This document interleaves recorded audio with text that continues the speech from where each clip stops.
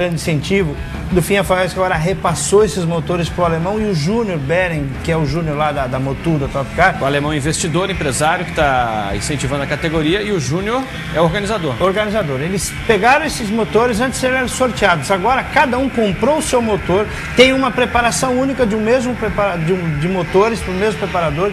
Esse ano está equalizando também o escapamento, certo? Tudo para que tenha a mesma condição, na verdade vai ser só regulagem de chassi, o restante motor e escapamento é tudo igual. E aí, custo muito baixo, bem tranquilo, transparência total na preparação, eu acho que tem tudo para dar certo. Hoje é a categoria de maior sucesso, com certeza, no kart em Santa Catarina. É, são duas categorias, a Fórmula Kart, a Fórmula Kart Super, né? E também o Jairo tinha oito, a FAUESC tinha oito motores de cadete que foram repassados ao Zé também, o, uh, que trabalha lá no cartório, e agora já tem 24 motores na Fórmula Kart. Super, mais 10 motores na, na Fórmula Kart, Kart, que seria uma, uma categoria tipo Light, e mais oito motores de cadete, quer dizer, essas três categorias com motores sorteados já vão representar um grid de 40 e poucos no final de semana, com certeza. Faz tempo a, que não temos isso. Né? A garotada vem junto também. Né? A garotada vem junto. E o kart é um grande incentivo porque é o início de tudo. Não adianta o, o pessoal que está correndo aí hoje, nos Fórmulas, na Stock, vocês podem observar, praticamente todos vieram do kart. Na Fórmula 1, os pilotos que passaram pela Fórmula 1, 100% vieram do kart. Eu vejo o kart como o nascimento de tudo. Só que o kart havia ficado muito caro. Então as categorias cadete e mirim, elas praticamente não inexistiam.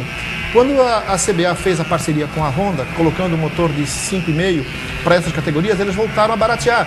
E hoje o piloto corre um campeonato brasileiro com o motor durante as seis provas por 500 reais. Então realmente ficou barato, isso com todo o custo de preparação incluso.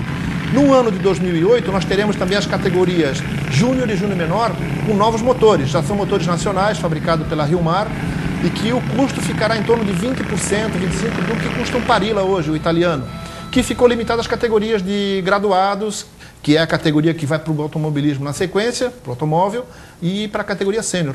Legal, lembrando que a gente vai acompanhar aqui esse campeonato, vamos acompanhar também as provas no Paraná, vão ser seis etapas, não é isso, Rogério? Quatro é, no cartório dos ingleses, uma em Rio Negro no Paraná e a outra no, em Pinhais, e também vamos acompanhar, claro, o catarinense de kart, que deve ser realizado aqui também nos ingleses no final do ano, mais Rally dos Sertões, mais Desafio das Estrelas, que está confirmado para Florianópolis em novembro, então... Que legal, nós vamos estar presentes já nesse final de semana, o cartório dos ingleses, uma estrutura com quatro câmeras, já para na semana que vem trazer para você o que aconteceu nessa abertura do campeonato. Vamos a um rápido intervalo comercial, na sequência mais notícias para você, vamos falar sobre a próxima etapa do Campeonato Catarinense de Automobilismo, tem uma entrevista com o Ingo Hoffman, também aqui no Velocidade, segura aí.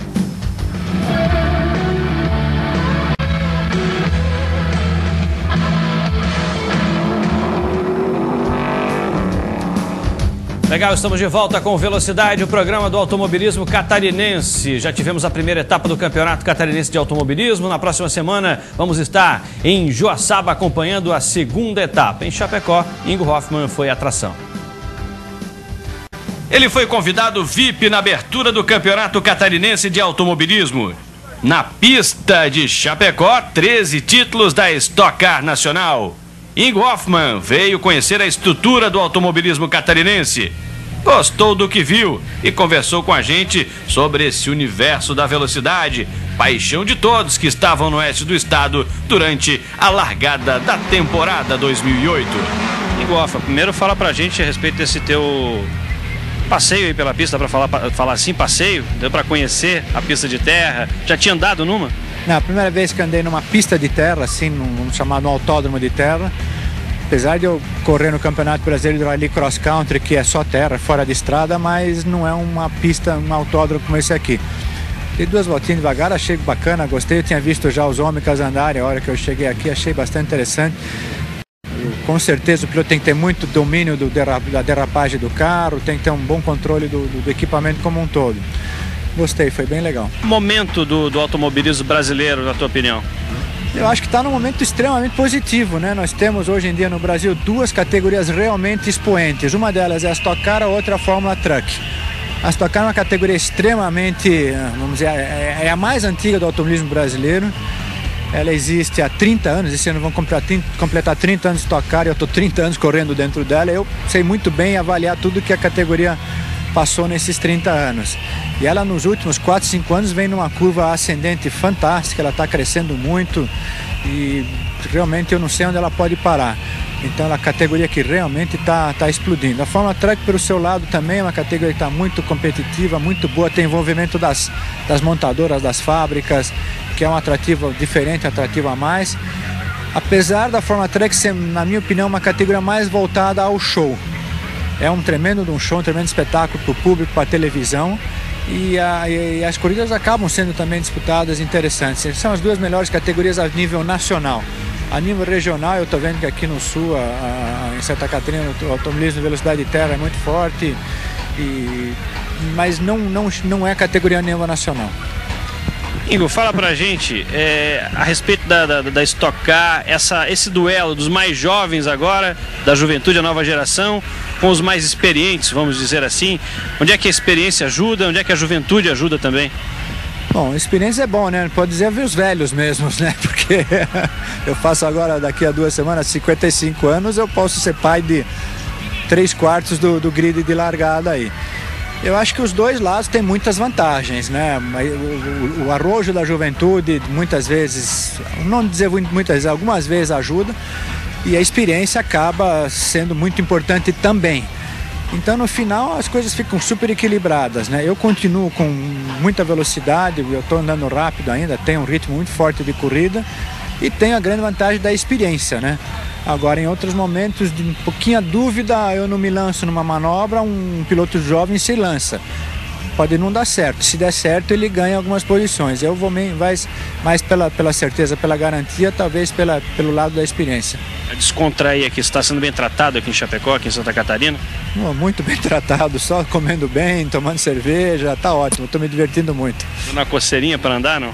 Ah, sempre dá, né? Qualquer piloto que, que, tem, que tem o vírus da velocidade no sangue, quando chega no autódromo dos carros de, eh, de corrida, tem, tem, dá vontade. Ainda mais uma, uma, uma, uma proposta dessas que é nova para mim, não vou dizer nova porque eu sei que isso aqui existe em Santa Catarina há mais de 20 anos, mas para mim é novo.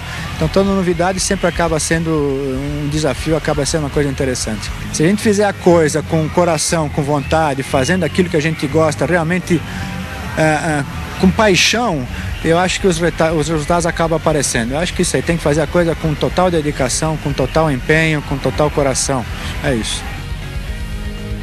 Legal, figuraço em Goffman, gente boa de montão, deu uma palestra para os pilotos lá na cidade de Chapecó, na abertura do campeonato, esteve no autódromo, andou na pista, a festa foi muito bonita, é muito legal aí os pilotos mais jovens especialmente, tem uma referência no Ingo Hoffman que é um talento excepcional e uma figura humana muito boa também, né? O maior campeão da Stock Car até o momento, né? É, 13 títulos. E vamos, enquanto a gente vai falando do Ingo Hoffman também, vou botar na tela aí a categoria Mini Fórmula Tubular, que aconteceu também em Chapecó na abertura do campeonato. Conversamos muito com o Ingo, ele acompanha. Imagina essa, esse pessoal aí, muitos deles começando primeira temporada, pegar e dar de cara com o Hoffman.